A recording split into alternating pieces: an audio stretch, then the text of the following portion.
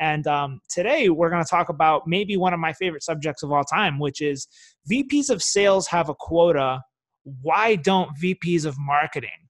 what the hell is going on why uh what corporate marketing versus demand gen right i think like in the old school days you had like the pepsi coca-cola cmo very brand uh now you're seeing you know those kinds of roles get eliminated in favor of a chief growth officer uh, which is a lot more demand oriented um so I mean, let, us break this down a little bit, Aaron.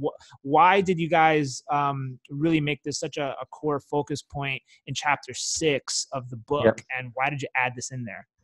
Well, I think especially Jason, because I know this is um, one of the areas that he uh, has written about, and actually, I can't remember the exact title, but basically, the essence is if you have a marketing person, make sure that they don't spend all the bar- budget on blue pens, like on pretty things that don't generate leads uh, and how important ultimately, okay, like investments in brand look and feel is important, but it's all about how you generate leads. And for companies that are in this early growth mode, whether going from zero to one or one to X, you know, the few millions, few tens of millions, you know, it really everything should be primarily around how is this going to generate leads that are quali- you know, quality leads. So marketers, heads of leading marketing people need some sort of quota. Whether i mean i think at least now might be more common to measure kind of or at least measure like new leads or cost per lead. Those actually aren't that great. They can be very misleading. Ultimately the key metric is we call it sales the number of sales qualified leads or sales accepted leads that get generated because that's what sales cares about. The leads uh, it's not mqls it's not new, new leads but how many actually get into the sales pipeline and marketers need a quota around that I mean, I um, I love that. I personally am held accountable to a quota uh, at my company. In fact, uh, the entire demand. what metric? We are uh, held accountable for uh, something called qu- quoted amount, which is um, actual pipeline gotcha. generated. Pipeline dollars. Yep. Yeah, okay. Pipeline dollars generated per day. So we have a daily and monthly amount. Um, daily obviously fluctuates, but like yeah. you know, if we don't hit it one day, we uh, carry that debt over with us the next day, and we actually talk about how we're going to overcome that debt. And really, every day we talk about, you know, are we on track to hit our monthly uh, target and our commit to sales? Um, so, well, by the way, the one challenge of going towards like that level, um, I think it's easier to measure things like MQL as new leads, and it's true that you do need when you're measuring kind of pipeline, you know, qualified pipeline being added. You call it like quoting amount uh, or number of sales qualified leads. You it, it forces you to make sure, hey, what are the ways that we're qualifying? Are they consistent? Can we trust what's being put in the pipeline? Or is one team doing one thing and another team doing another thing? So it's a, a lot. It's hard. So a lot of companies don't get to that point, or they it takes they wait too long before they create that consistent qualification step, so they can trust. If we say we're getting five million in pipeline, new pipeline this month, is that accurate, or is it a guess? Exactly right. Uh, and, and dude, I mean, the last question to ask you before we sign off is like, you know this idea of the corporate brand marketer who's gonna maybe do partnerships with like you know some sports team or some billboard advertisement or you know advertise in the new york city subway system. Like at what point as a company do you start doing that? Like how do you like you, you know as you're growing you need yeah. leads. So that stuff's not going to get leads in the door. So when yeah. do you start doing that? Well i think for most companies it's the point where you feel like whether it's at 10 million revenue or 100 million, like, okay, we actually have our demand gen programs working. We have a confidence and if we spend X, we'll get Y.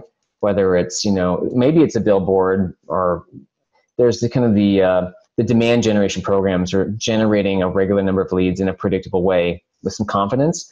And you feel like, okay, we can have some experimental or brand or brand budget that we feel like it's important. We may not be able to measure it, but we kind of know it's important.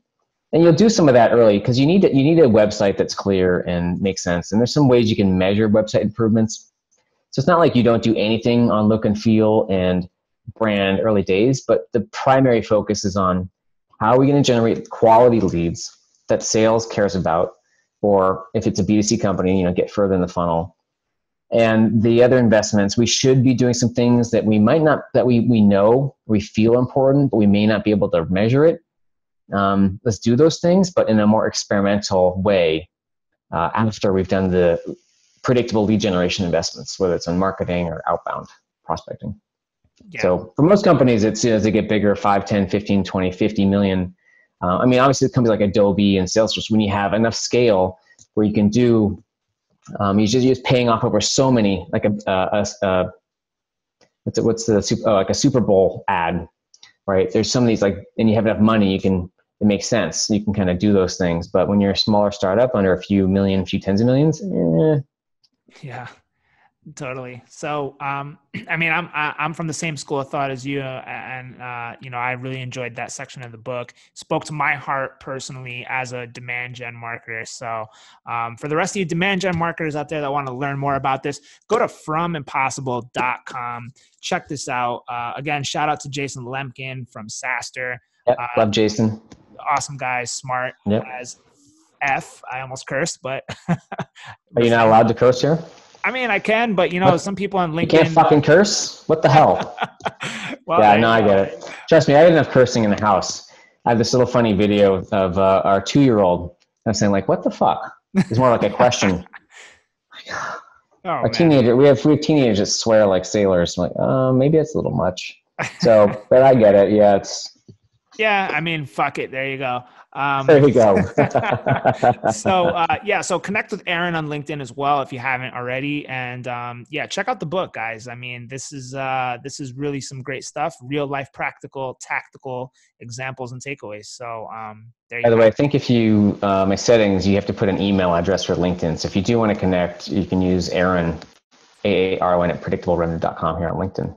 Oh, awesome! I'm I'm sure you yeah. probably get spammed too much. That's why you did that. Uh, no, I maxed out with the thirty thousand connections, but okay, I cool. you know can't clean it. So uh, there you go. Yeah, and you could also follow without connecting, so you can do that as there well, you so you don't miss any of the content. So um, thanks again, Aaron, and uh, we'll talk Thank to you. you again soon. Thanks, brother. Yes. Thanks. All right.